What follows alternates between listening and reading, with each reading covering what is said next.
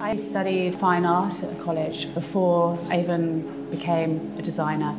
I started doing painting, fine painting and sculpture.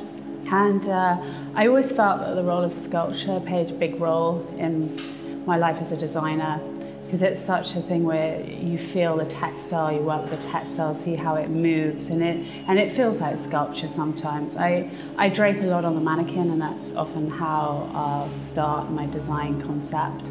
So um, I, I think that was a good grounding for me.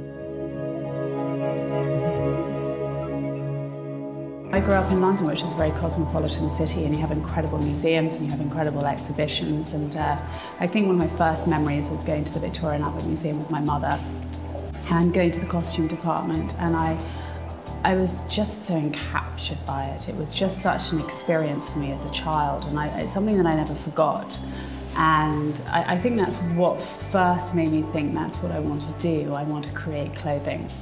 It was. Um, it was an organic process, Marchesa. I knew I wanted to have a fashion business and when I started with my best friend Keren, it was, we had different ideas in mind. We wanted to do something and we were throwing around whether it should be even a loungewear line was one of our original concepts.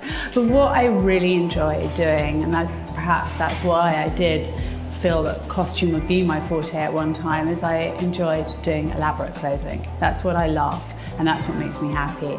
And um, so really evening wear just sort of fitted that and it's what I always came back to and what I always wanted to do. When I'm first starting a collection, just start on the internet often and I'll start researching paintings and then looking up different ideas and I mean I think um, one time I uh, found a painting Ilya Repin that just really spoke to me. It's just so beautiful and it was uh, Sadko. And then I researched Sadko and it was this beautiful Russian fairy tale. So it sort of took me down this road and to this underwater kingdom. And so occasionally you'll just find these little gems. What do I love about fashion? Oh my goodness, I love everything about fashion. I think you have to love everything about fashion to be in fashion, otherwise you'll probably kill yourself because it is quite a demanding job. You, uh, I mean, it really takes every hour you are given in life and more. Um, but I love it. I'm so lucky to be doing it. I really am. I, I really do feel very thankful every day that I do what I do and it's just, it's just fun. It really is.